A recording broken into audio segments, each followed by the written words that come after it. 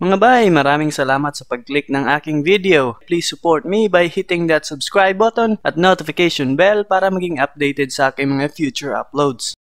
Mikey Garcia, gusto nga ba talagang labanan si Manny Pacquiao o inuutusan lang ni Eddie Hearn?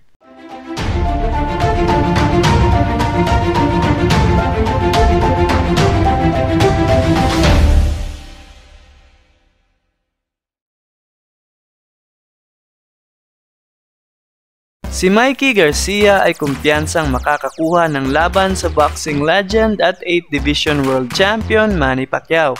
Siya at ang kanyang team ay naniniwalang sapat na ang panalo nila sa former welterweight champion na si Jesse Vargas upang maging deserving sa isang title shot para sa WBA welterweight belt na kasalukuyan ay hawak ng Filipino superstar. Dalawang beses pa lamang lumalaban si Mikey sa welterweight division at ang unang subok nga niyang makasungkit ng world title sa divisyong ito ay nabigo. Laban sa isang elite level welterweight na si Errol Spence ay walang nagawa ang timing at counter punching ni Garcia. But he's still catching him. There's the one up the middle. And here's, here's the last shot.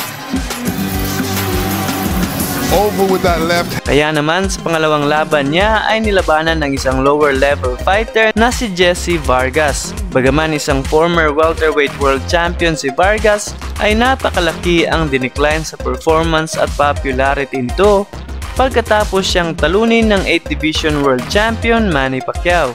Nanalo si Mikey sa laban nila ng kapwa Meksikano ngunit magkaganon man ay hindi pa rin natin masasabing handa na ito sa panibago na namang malaking laban na haharapin. Ngunit ang promoter nito na si Eddie Hearn ay tila ba walang pakialam kung handa na ba ito o hindi. Pagkatapos ng panalo ni Garcia at bago pa man ang post-fight interview ay nakuna ng kamera na lumapit sa Hearn sa kanyang buksingero at may binulong ito. Sinabi nitong, You should say in the interview that you want Pacquiao and then Errol Spence. At nang tinanong nga si Garcia ng interviewer, ay sinabi na nitong gusto niyang makalaban sa susunod si Manny Pacquiao o Errol Spence Jr.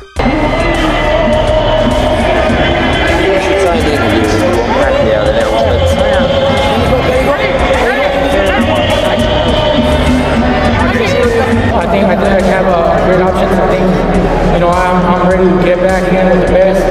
Would love to get an opportunity to fight Manny Pacquiao, rematch against Errol Spence. I think it would be a tremendous fight. I'm a little bit better now. Do you Mismong ang trainer at kapatid ni Mikey na si Robert Garcia ang nagsabing isang napakadelikadong laban para sa kanyang kapatid si Manny Pacquiao. Alam na alam ni Robert ang panganib na dala ni Pacman kahit pa sabihin nating matanda na ito.